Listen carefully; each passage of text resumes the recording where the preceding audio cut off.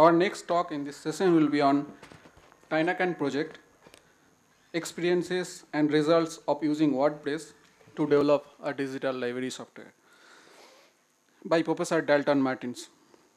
Professor Martins is with the Information Management course and postgraduate program in communication PPG-Com of the Faculty of Information and Communication of the Federal University of Goiás. He holds a degree in electrical engineering and master's in engineering computing by the State University of Campinas, as well as a PhD in information sciences from the University of Sao Paulo. He is working on the theme of mapping, structure analysis, dynamics of social networks in the distributed digital environment. In his presentation, he will enlighten us in detail about the Tainacan project and the experience of using his team of using WordPress to develop it. Welcome, Professor Martins.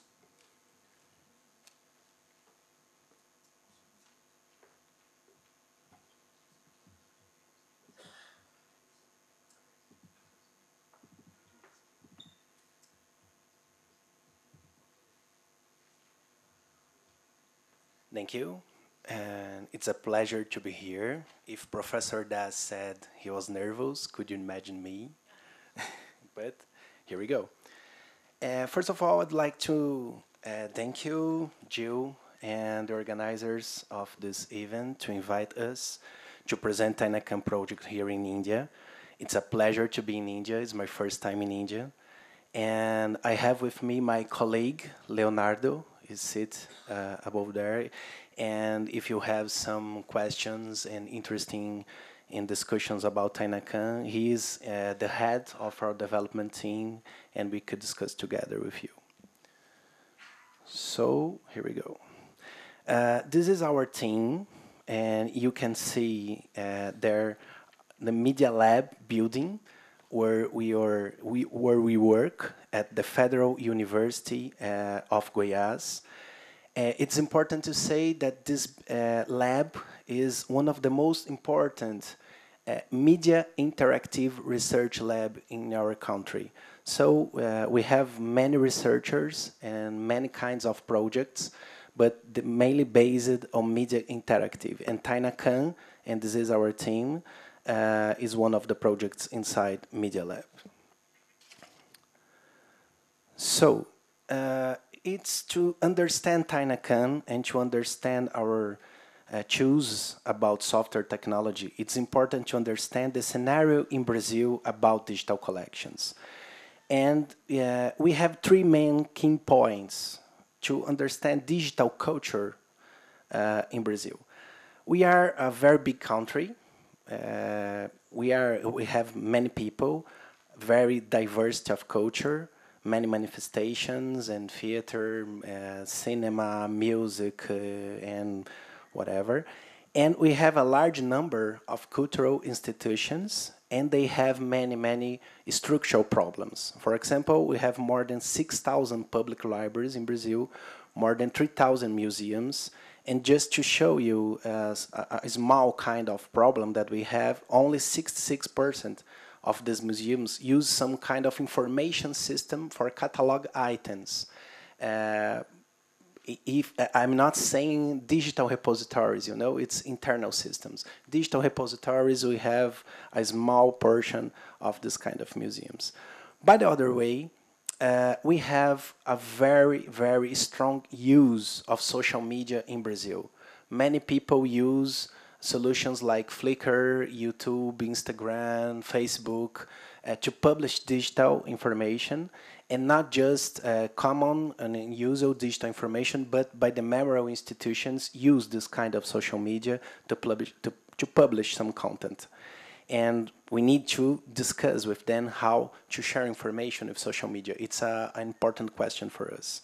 And we have 66% of internet penetration in the population, and we are, we are following the We Are Social uh, research in 2017. We are the second in the world by time spent on internet, almost five hours per day uh, in media. So, uh, since 2014, you know that we are in Brazil changing uh, lots of problems in political government. We have some move, important movements there. But uh, in 2014, the Ministry of Culture and the Brazilian Institute of Museum has been developing a national policy for digital collections. It's important to say that because it's an initiative from the government with three main objectives. Uh, first of all, to provide a simple tool. It's very important for us uh, help this, those institutions and independent groups to publish data because they have many difficulties in doing that. So provide a simple tool to do what? Organize digital repositories, facilitating connection with social media. I will show you some examples uh, in using that uh, correlated with social media and including the same network, not just the memorial institutions, but the civil society. We have many, many important uh, cultural movements that are not related with official institutions. So it's important to build a network considering those institutions. And uh, another thing is to create the websites of the institutions and the organized group. They have many difficulties uh, to create their own websites, to choose this technology, and if we can, we, we can put this together on the same tool, this could be uh, something very useful for us in Brazil.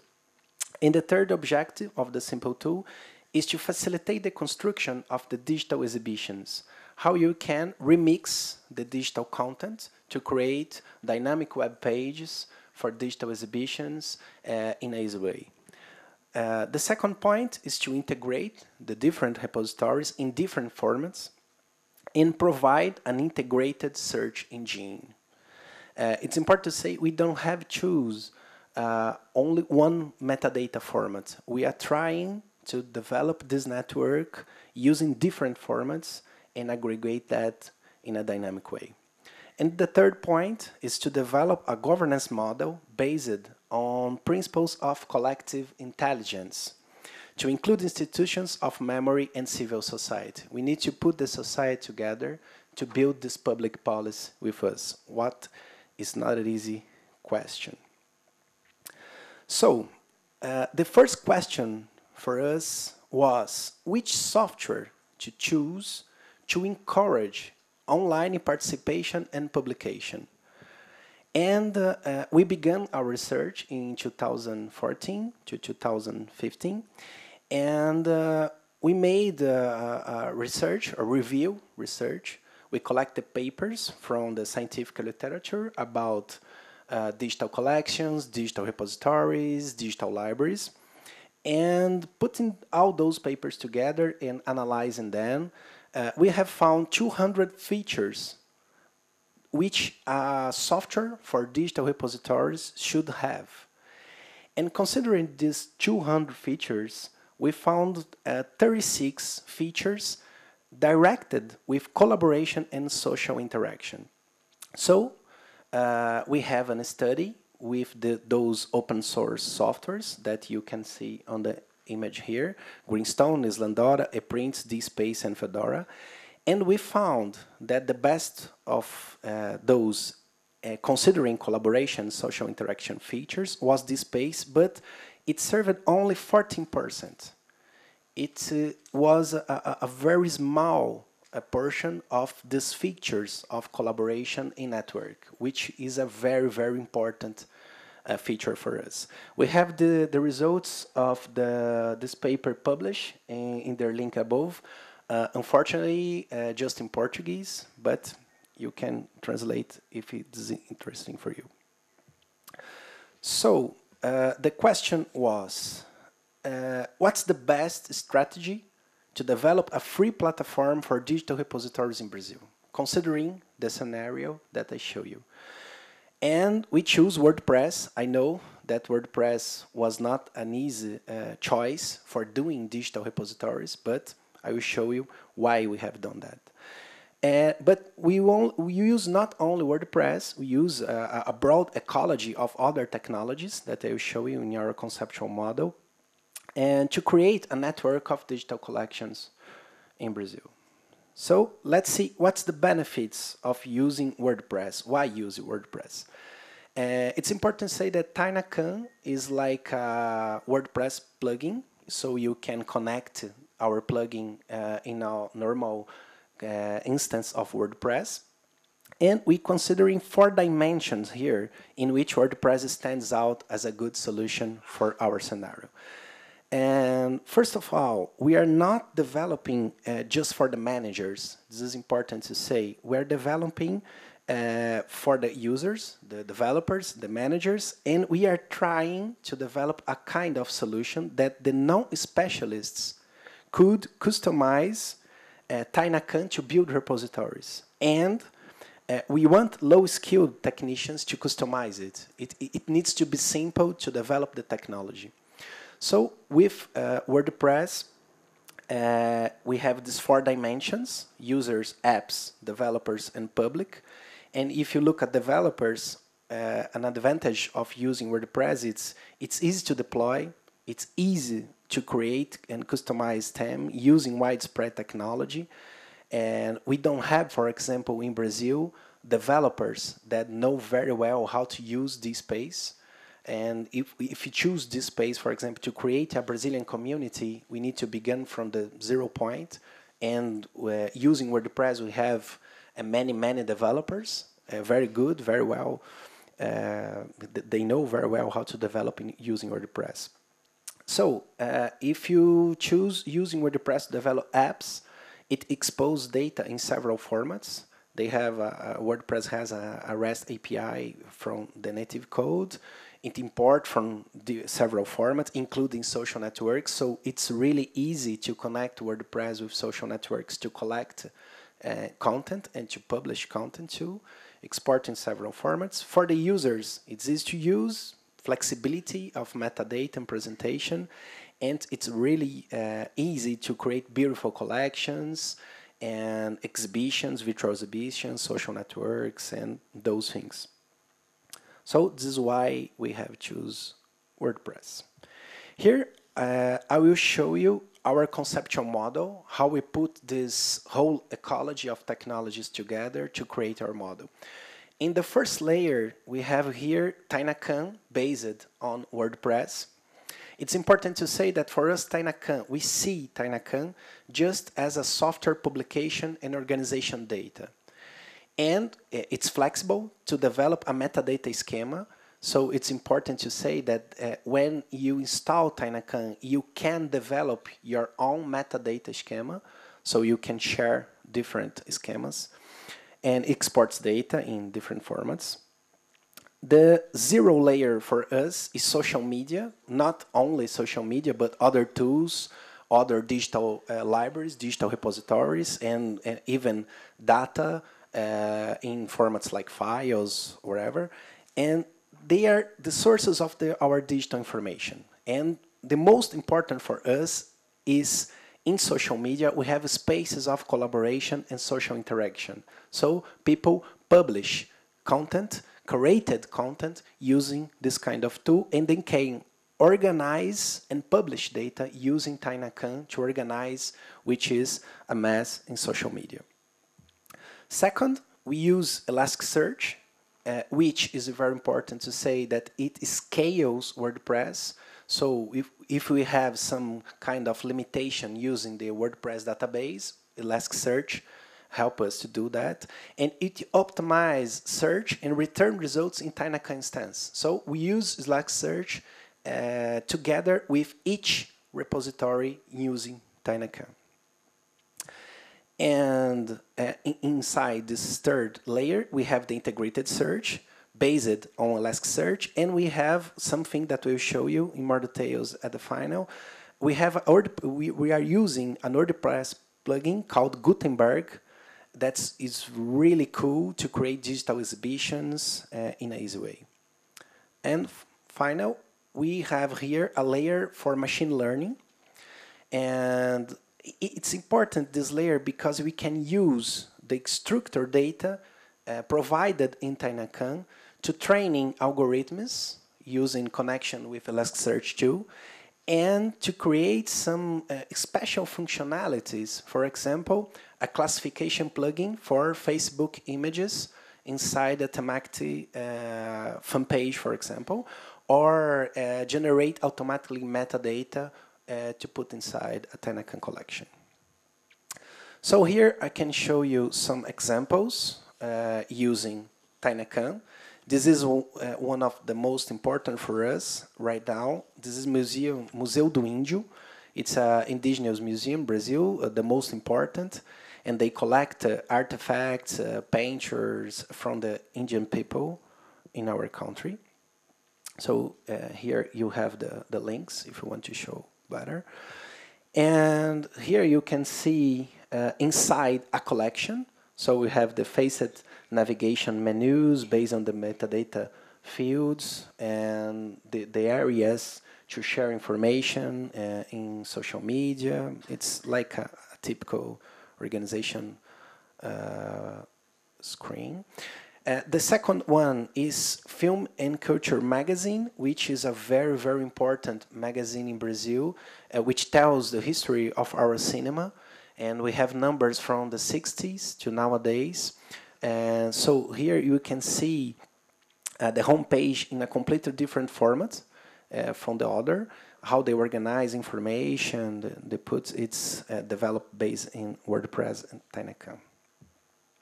Uh, here you can see two different issues of the magazine, and it's important to say because uh, the metadata of these issues have changed several times over the decades because the journal structure has changed. So how we can represent that using only one uh, kind of template? We are trying to create different templates for the same uh, magazine, consider the different issues, and to put all together on the same database. Uh, here is a, an important example, uh, which is called BB Flora Community. Uh, here you can see a Facebook page.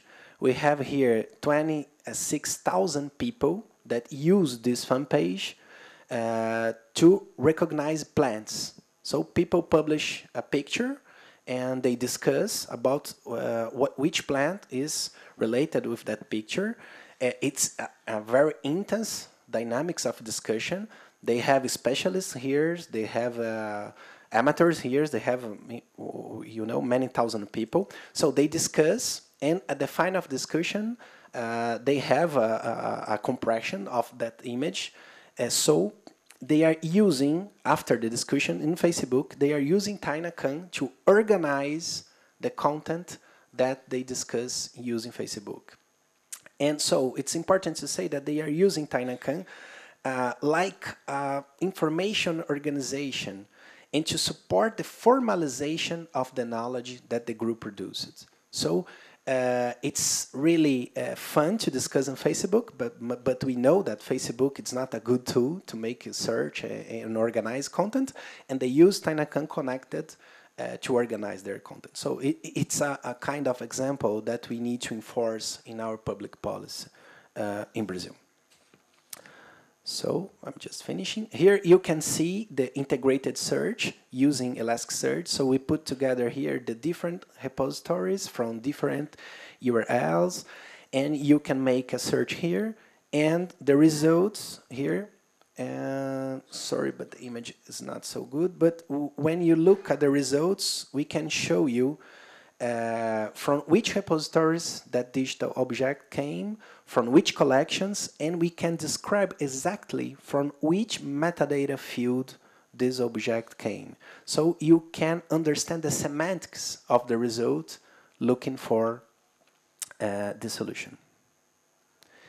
And finally, uh, we are using this. Uh, it's uh, an example of Gutenberg plugin for WordPress. So here you can say uh, um, a homepage, a simple uh, homepage, but you can use this plugin to export content from different collections and from different repositories on the internet to create a, a, a blog, for example, or a dynamic uh, statical or a dynamic or a statical page on the internet and remixing the digital content uh, over the network. So it's a very simple to use Uh, maybe I don't have time. I, I have how many minutes? Yeah, yeah, it's finished. No, no, no problem. But here in the YouTube link, uh, if you are interested, we made a, a small video, two minutes, showing how to create these uh, digital exhibitions using Tainacan and uh, Gutenberg plugin. So uh, that's it. Here you can see my contacts. Uh, there you can see the Tainacan code. Uh, we use GitHub, so all the information are there. And there we have a website with some information in English. It's not completely in English, but some information in English. And you can see some much more information about Tainacan project. Thank you.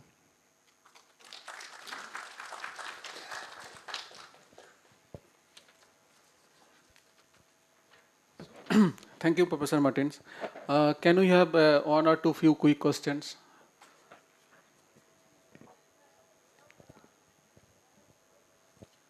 So, uh,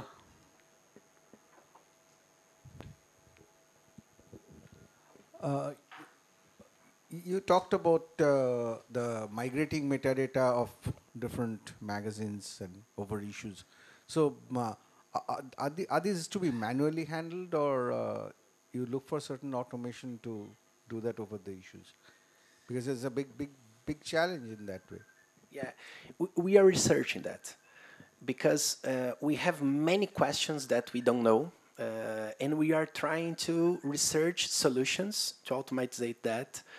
But this uh, magazine, it, it was uh, something in Ministry of Culture that was uh, like lost, like a lost collection inside the ministry. They have an urgency to put that online.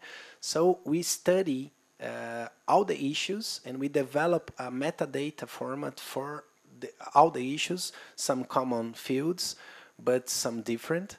And the fact is, if we want to scale that, we need to use some kind of solution, but we, we don't know exactly how to resolve that. Thank you.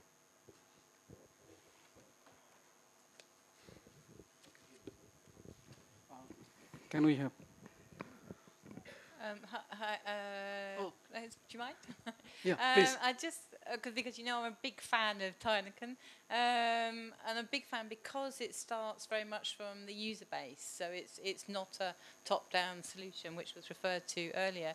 Can you tell us anything about how users are responding? So now you've got some things up. You've got the Indian one. You've got the Biblioflora one. What what what are the results of it? Uh, so it's for us it's it's like uh, surprising when we talk even with the specialists. For example in museu do índio uh, we made uh, a meeting with uh, uh, librarians archivists and museologists and they, they they have the same problems to use those softwares even open source softwares like AtoM uh, Archivematica and DSpace, uh, they have problems to customize that because the software is really good, but we don't have exactly uh, the technical skills to customize. So when they see Tainacan and the way to configure the in the administrative area, it's really simple. It's like uh, create a, a, website using WordPress, a, a, little bit of more one, one, two, three features. But uh, when the users uh, see that, like Bibliflora community, for them it's a, a, kind of gift because they are they were using uh, Facebook, and they had many many problems using Facebook because they are trying, uh, for example. Uh, to search for an information that they have discussed uh, last month. It's almost impossible to find that on Facebook in a good way. So when using Tainacan, for them it's a, a really huge step. So they like the interface uh, because in WordPress it's so simple to create dynamic and, and very diverse of kind of interface. And it's easy, and we, we, we, are researching that. We are collecting data from the users. Every kind of uh, small course that we make, we collect information from them and the, the, the, the, answers for us are cool. It, it, works for us. It makes sense. Thank you, Martin. So, uh, Martin, please, we have a small memento for you.